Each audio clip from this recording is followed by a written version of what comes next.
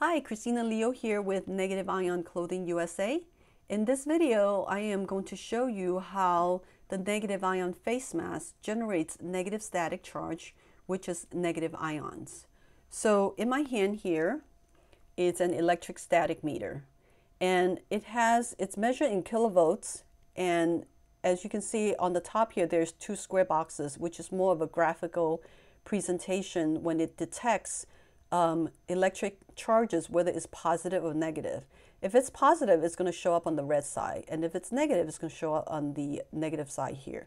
And I already have this on, so as you can see, this is a measure in kilovolts. So any of the numbers you see, it's multiplied in thousands. And I'm going to take the face mask here and rub against. As you can see, the numbers shot up really quickly. Um, as you can see, it only goes up on the the green side here. And the number is not going to be a static number because it generates negative, uh, negative ion through friction.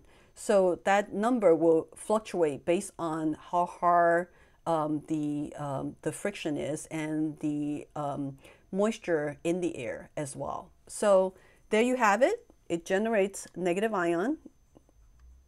Okay, so no doubt about that. And if you keep it clean, it will always generate negative ions. So as long as you keep the fiber clean and don't damage it, it will last you a very long time.